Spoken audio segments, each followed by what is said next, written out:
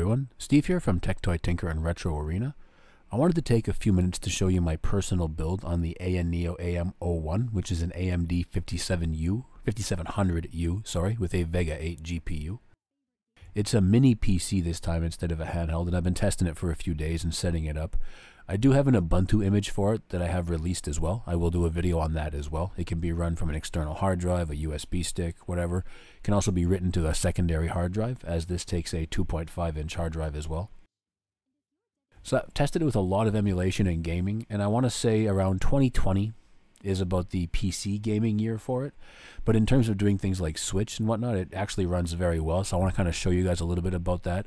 And first I'll start off by showing you the Ares Windows build, which is uh, using Batocera or FCA mod emulation station, but it's ported to Windows. So we're just going to jump right into it.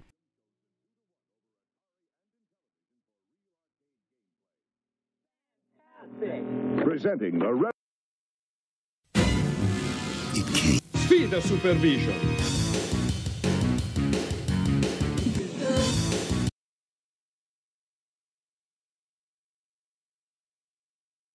As you can see here, you can just load your PC games or Steam or whatever you want by putting the shortcut in the folder. You can get this build on our website, thetechtoytinker.com. It's under the Emulation Station Windows build. It's pre-contained in a zip, so you just extract it to wherever you want it, your hard drive, an external drive, whatever, and all the ROMs, BIOS, everything go inside of there.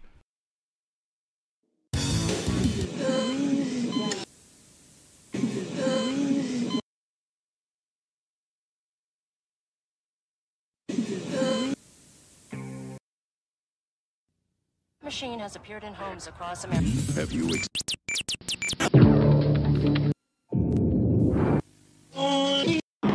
Introducing Artiboy, a game system that's In 1986, When it comes to home computers, the Atari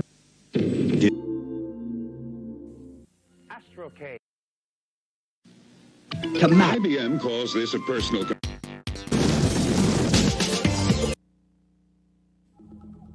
One with all the fun. The They said.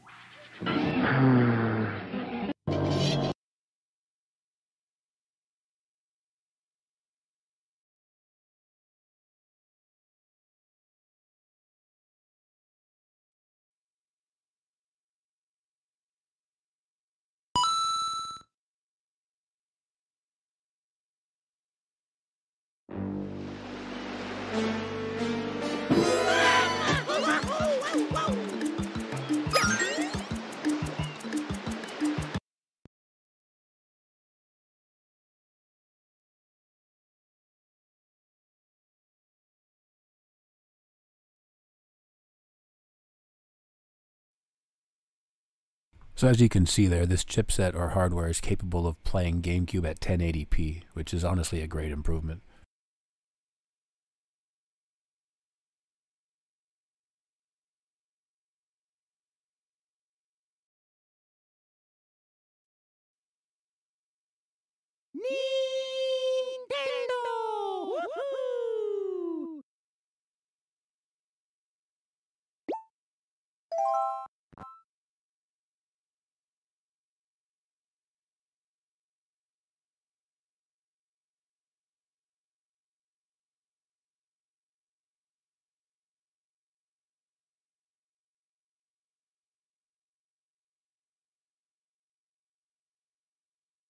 I mean, or this particular game could just not work, you know.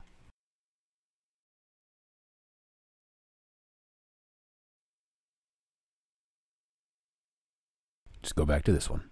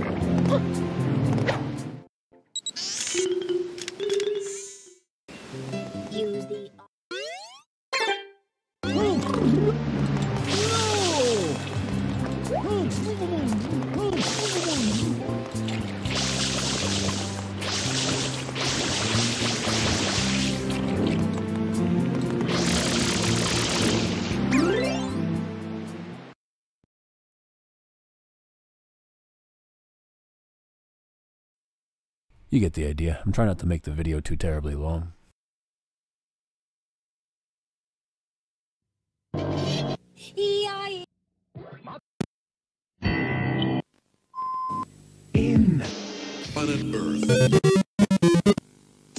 Hey everybody, welcome back to Video Game Esoteric on our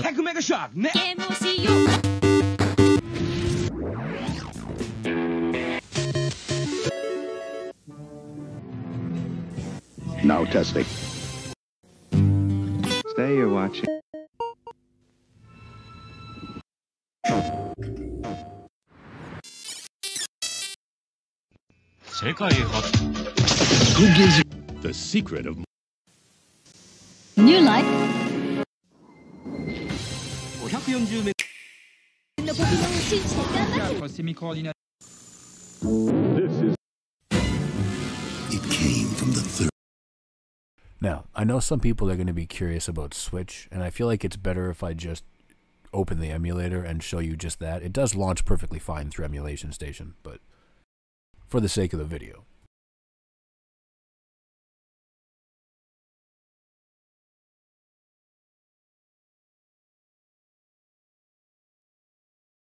Now, the first thing I'm going to say about this, in all honesty, your best bet for running Yuzu is to have a modded Switch console. It allows you the ability to not only extract your console keys, which you need, but you also need the ability to dump your cartridges, which you can't really do without a modded Switch. So that's kind of the, the go to for this here.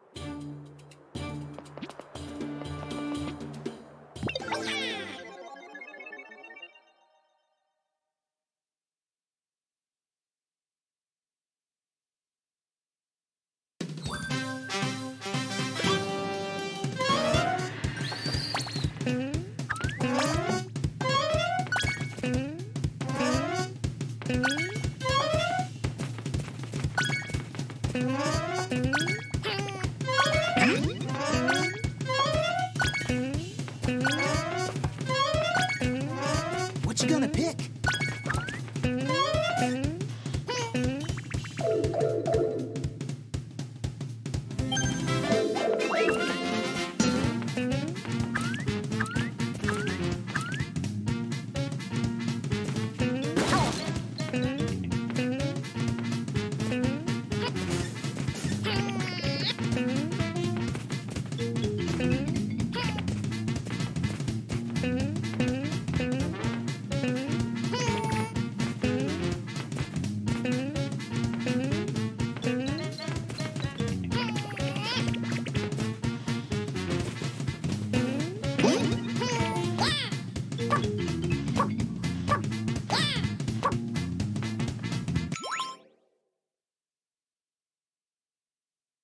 So as you can see, despite the odd bit of dips in FPS or whatever down to the mid 50s, it doesn't actually make any difference in terms of the gameplay. You're still playing just fine. You don't notice any slowdown. There's no serious problems.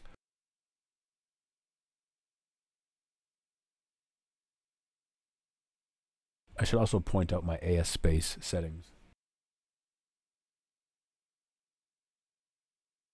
So to do that, it'll automatically be pre-installed by default when you get your thing, your uh, AM01.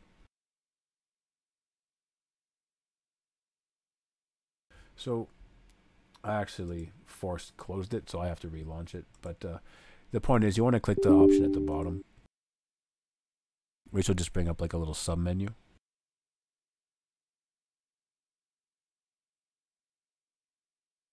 So you bring up Show Assistant. As you can see, I chose to put it on 31 watt TDP. The reason why is because it seems to go over a couple of watts anyway. So 31 or 32 will keep it around the 35. If you put it all the way to 35, it'll jump up to 36, 37 sometimes. And I wanted to keep it under the 35 range. It doesn't make a massive performance difference. As long as you're over 30, you should be good to go. And with the fact that it's a mini PC and not a handheld, there's no reason not to push to the max wattage possible.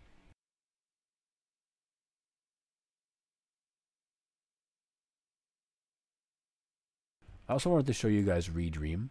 There's been an issue with low-level emulation that uh, surrounds AMD hardware, and over the last few days since I got the AM01, I've sat down and I've used the AM01 and the AYA 2S as a testing bed, and been going back and forth with the developer of Redream, inolen. I hope I pronounced that right. He's been sending me multiple different test files because whenever you tried to use low-level emulation here, on AMD hardware, it just wouldn't display to the screen. It would just output weird colors and nothing would happen. So we sat down and tested some stuff, and he sent me a bunch of files, and eventually he was able to get it working. So now we do have low level emulation, which is more true to form or more accurate for the hardware. And it does work on all AMD devices. Also, with that in mind, I did ask about 64 bit Linux support for ARM instead of just you know Raspberry Pi, and they are planning to release for Arch 64 Linux as well. So we will have support on ARM devices as well, not just Raspberry Pi.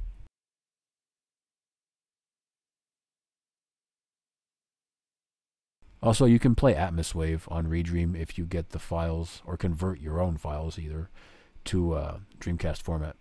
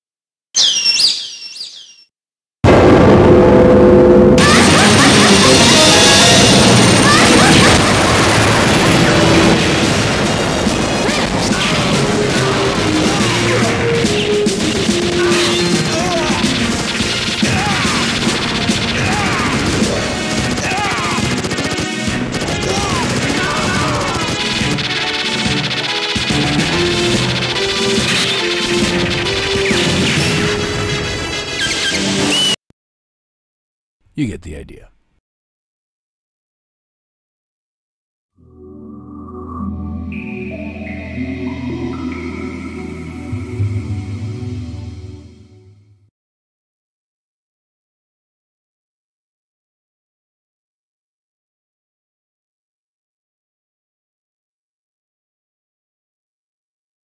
Dirty pigskin!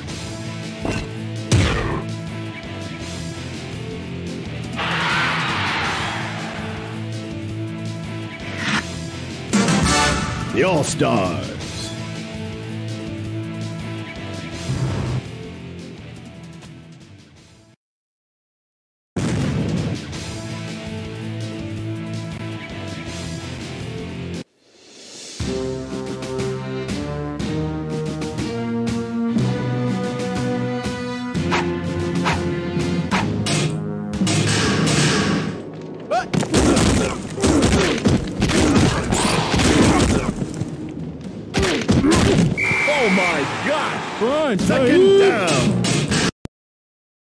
So as you can see, no lag, nothing like that.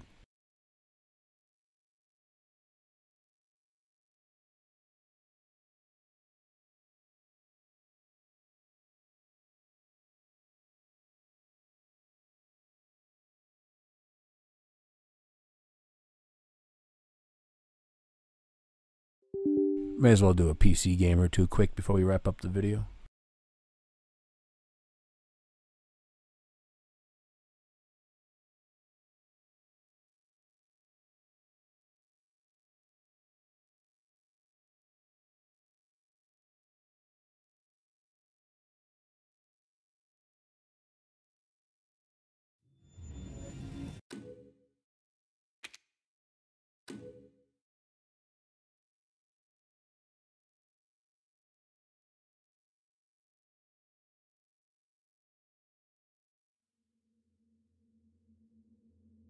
Also, be warned, running a PC game will kick the fan into high gear. That's normal. It's using up all the resources it can, basically.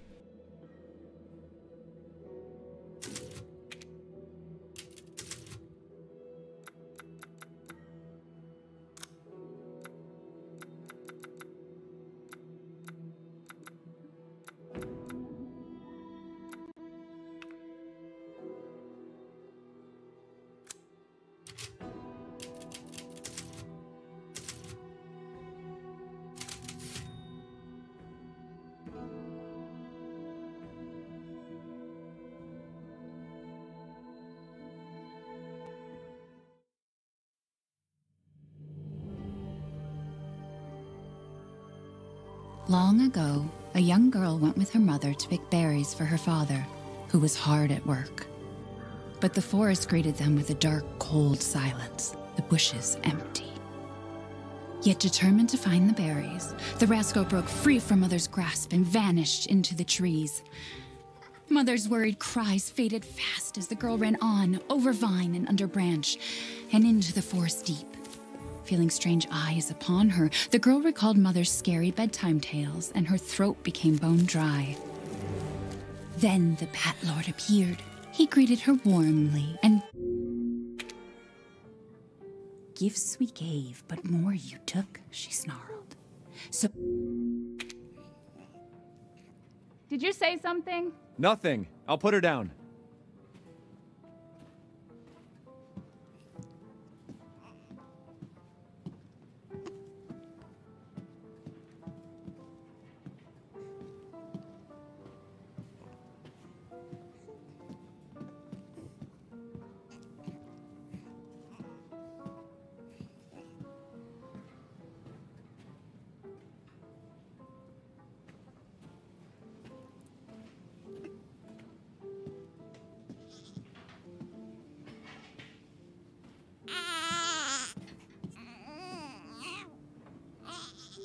There, there. It's like I said to your mom. That book's too scary for you.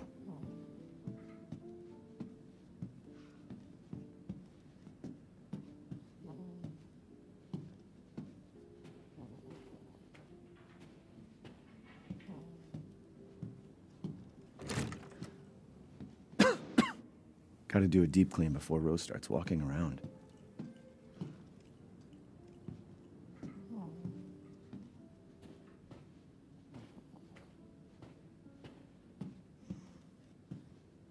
Almost there, honey.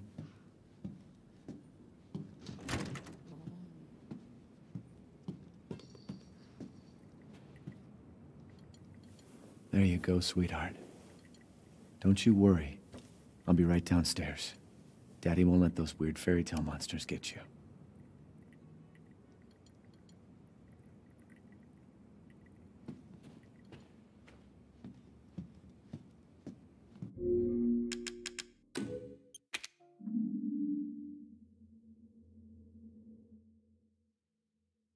To make the video last forever, but Resident Evil Village and Cyberpunk, that's about as hard as you can push this. It's not going to go much past it. I tried Hogwarts Legacy. I got like 20 FPS. It's not unplayable, but it's not great either. So you probably want to just stop around 2020, maybe 2021, depending on the game.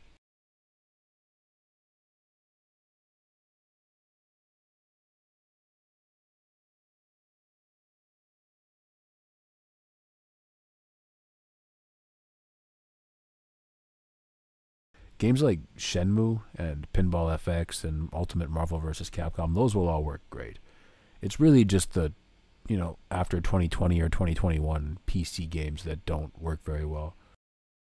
But if you consider the fact you can buy this for 300 bucks, it's really not a bad deal at all.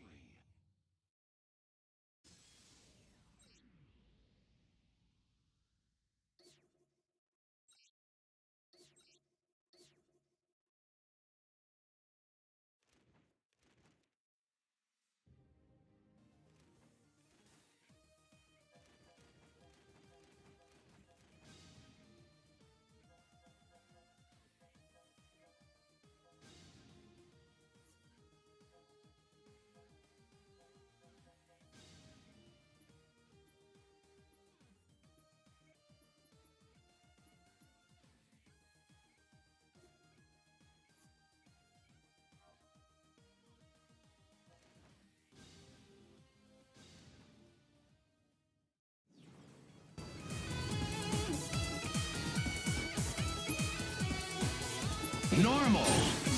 Welcome to the world of Marvel vs. Capcom 3, where the finest heroes assemble. Get ready for the fight of your life. Dragon, you've got the power. Shield Air Show. There can be only one winner. Let's go.